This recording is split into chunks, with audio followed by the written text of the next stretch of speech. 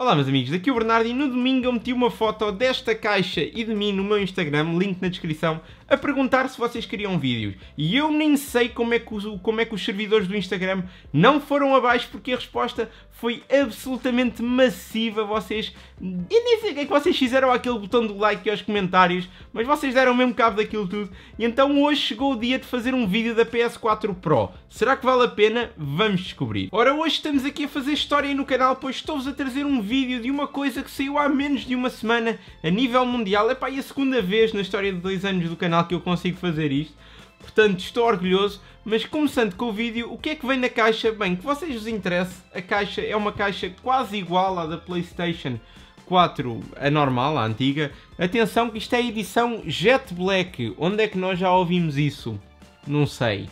Mas o que vem na caixa de interessante é obviamente a Playstation, que agora tem um design novo, já vos vou falar mais sobre isso e o comando que também está ligeiramente redesenhado, mas let's face it, é igual. Não vão notar uma diferença assim gigante para quem já tem uma Playstation no comando. Apenas tem aqui uma LED nova, nada de nice. Ora, para os mais desinformados, convém então, antes de dar a minha opinião, dizer o que é que está de diferente nesta nova PS4 Pro para a PS4 antiga ou também para a PS4 Slim. A primeira diferença óbvia é o tamanho. Esta PS4 Pro é maior que a PS4 normal e é muito maior que a PS4 Slim, portanto terão que ter isso em consideração, tendo em conta o vosso setup ou o vosso espaço de entretenimento. Segunda diferença é o desempenho. Esta é a PlayStation mais potente de sempre e foi desenhada para correr jogos em 4K, atenção, upscaled, poucos vão ser os jogos a correr em 4K nativo, mas a grande maioria deles vai correr em 4K upscaled. Para terem uma noção, esta PlayStation é duas vezes mais potente que a PlayStation existente agora no mercado, um bocadinho mais que duas vezes, portanto não é bem quatro vezes mais potente para poder correr 4 vezes os pixels do Full HD para o 4K, mas faz ali um upscaling que tenho ouvido dizer e já testei, é bastante bom. Além disso, para quem não tem uma televisão 4K, vai permitir, mesmo em Full HD, os jogos com mais detalhe, com, por exemplo, as sombras vão ser melhores, as frames por segundo não vão variar tanto, quem joga PlayStation 4 pode sentir isto, muitos jogos são a 30 frames por segundo, aqui vão conseguir ter, correr os jogos a 60 frames por segundo, sem qualquer tipo de frame dropping, o que também é positivo. A terceira diferença, e esta é interessante para quem paga eletricidade, é que esta é a PlayStation que consome mais eletricidade. Consome um pouco mais que a PS4 e consome razoavelmente mais que a PS4 Slim. Depois, outra diferença nada óbvia é o design, obviamente, tem assim o chamamos chamar-lhe o design sanduíche, que eu pessoalmente até gosto, há quem não goste, mas uma coisa eu fiquei muito contente foi que eles se livraram da parte glossy da PS4 e agora toda a consola é mate, o que no meu ponto de vista lhe dá um ar muito mais bonito e também se suja menos, o que é muito importante. A última diferença importante para mim é que tem uma porta USB na parte de trás da consola e vocês perguntam, Bernardo, porque é que isso é importante? Ele já tem duas portas à frente. Bem, sinceramente, se vocês quiserem ligar, por exemplo, um carregador de PS4, têm que o ligar à frente, um carregador para os comandos, obviamente, e agora podem ligá-lo atrás, e isso é bom, obviamente, para termos um setup sem cabos, o que vocês sabem é uma prioridade. E yeah, na vida é tipo saúde, comer e ter um setup sem cabos. É. Talvez tenha que rever um bocado as minhas prioridades. Ai, Bernardo, as coisas que tu dizes. As coisas que tu dizes. Mas continuando com o vídeo, a grande pergunta que vocês devem estar a fazer, mas Bernardo, essas coisas todas teoricamente, na realidade, Faz diferença? Vale a pena gastar mais 100 euros da PS4 Slim para essa? Tenho uma PS4 normal, vale a pena fazer o upgrade? É isto que eu vos quero responder neste vídeo. Obviamente que a melhor maneira de eu vos mostrar as diferenças é na prática, jogando. Portanto, a vida de youtuber difícil, jogar para fazer vídeos, é uma coisa muito difícil. Não, agora a sério, este trabalho não é fácil, mas de vez em quando temos estas vantagens de podermos estar a jogar e a trabalhar ao mesmo tempo. Obviamente isto está sem som porque a gente não quer ferir suscetibilidades da Konami, este vai ser o PES 17 e por suscetibilidades eu quero dizer os copyright. Bem, vamos lá aqui jogar na minha Liga Master com o Dortmund, é, com, é o clube com que eu estou de momento, já estive no Sporting, entretanto passei para o Dortmund, já estou em 2000 e troco ao passo, já nem sei bem. E o que eu vos posso dizer do que eu já joguei é que a diferença não é muito grande. Este jogo ainda não foi atualizado para tirar partido de todo o horsepower da, da PS4 Pro. Ui, Gabriel Jesus! Isto assim vai ser muito difícil de eu falar e jogar ao mesmo tempo. Mas este jogo ainda não foi atualizado para tirar partido do novo hardware. Então o que eu sinto apenas é que há menos frames a caírem. Para quem joga PES sabe que de vez em quando vê-se algum frame dropping e agora aqui já praticamente não vejo, mesmo nas celebrações via-se muito arrastamento e deixou de se ver, porque obviamente o hardware consegue processar melhor o jogo. Mas neste caso, só em dezembro é que este jogo vai levar uma atualização para suportar o novo hardware, ou seja, para tirar partido do novo hardware da PS4 Pro, e aí sim virá o, próprio 4K aqui para o jogo. Neste momento eu já estou a jogar a 4K, mas é um 4K upscaled a partir da televisão. Eu tenho uma LG OLED de 55 polegadas, como vocês já sabem, se viram setup de sonho, e é a partir dessa televisão que o upscaling está a ser feito e não a partir da PlayStation. Olha os manos a achar, estás tonto. O Zé, achas que o Zé Gaia? Ginter, falta. Vai, vai, vai, bate já, bate já, tranquilo. Falta. Senhor árbitro. Não, não, devias era estar feliz de não ir para a rua, é o que tu devias estar. Já sei. Olha aí o Memphis. Aí o Memphis nem vai dar hipótese. Olha vai aquilo. Olha vai aquilo. Olha que bonito. Aí, não, não, não dei com muita força boa. Ah, que tiro. Que dor. Eu quero-vos mostrar o The Last of Us que já foi atualizado para tirar partido, mas eu agora não vou sair daqui sem marcar um gol. É a honra que está em jogo. É a minha honra que está em jogo. Renato Sanches. Ah. É agora. Vamos fazer aqui uma jogada combinada brutal que vai acabar em, em gol com o Bakary Sanha no cruzamento e golo! Já está! Memphis da Pai!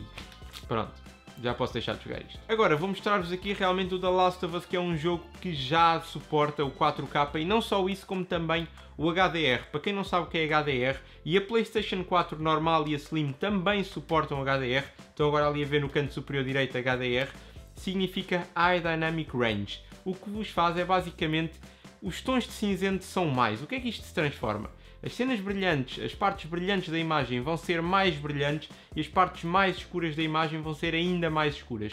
Vai haver um maior contraste, o que resulta, obviamente, para o nosso olho humano, numa imagem mais agradável. Primeiro aqui o botão, vamos continuar a nossa história. Ainda estou muito no início do jogo, eu tive mesmo a guardar este jogo para o poder jogar quando tivesse uma televisão 4K e a PlayStation Pro. Portanto, estou há muitos meses à espera de, de, jogar este jogo. Como podem ver, meus amigos, aqui sim nós já, já conseguimos sentir o que é que a PS4 Pro nos tem para dar. Esta imagem em 4K é absolutamente brutal.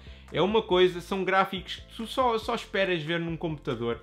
Olhem aqui para a cara da miúda, olhem para as sombras aqui da relva. Está mesmo muito, muito bom. Isto é o tipo de gráficos que uma pessoa tiraria num computador topo de gama. Olhem para a água, é muito, muito bom. E é realmente nestes casos que uma pessoa diz, é pá, vale sem dúvida nenhuma a pena comprar a PS4 Pro, porque são gráficos absolutamente brutais. Vocês podem ver, olhamos ali para o céu, que está, é, normalmente é uma zona mais clara, olhamos ali para a sombra dos prédios, mas depois do lado esquerdo já estão prédios em que está a bater o sol e é, é muito bom, a Dynamic Range, as cores, tudo, é muito, muito bom. Está a correr obviamente a 4K a 30 frames por segundo e é muito bom e eu nem sei sair daqui, bora lá.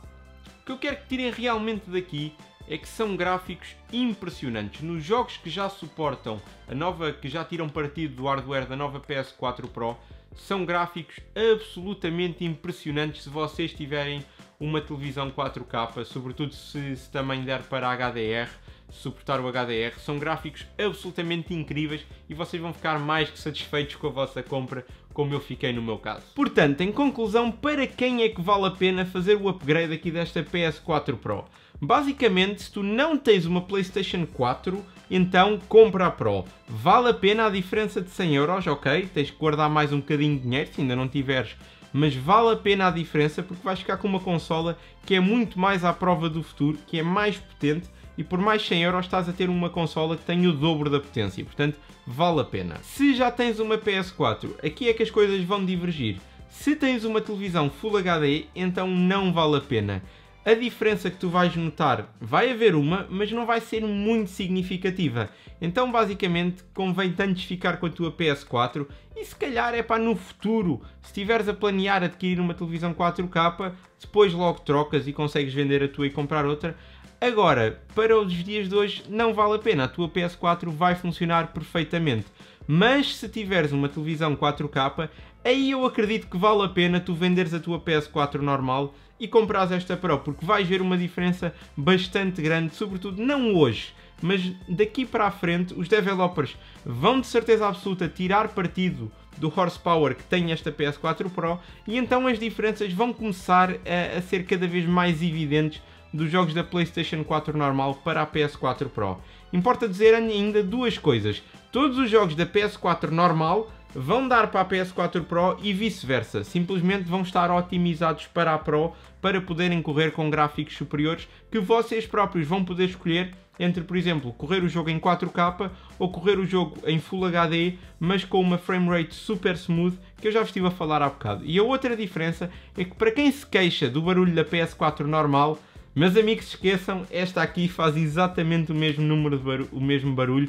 Parece que temos ali um concerto de ventoinhas a dar. Mas pronto, como a grande maioria de nós ou usa headphones ou usa as colunas num volume já aceitável, nem damos conta de, do barulho da ventoinha da PS4.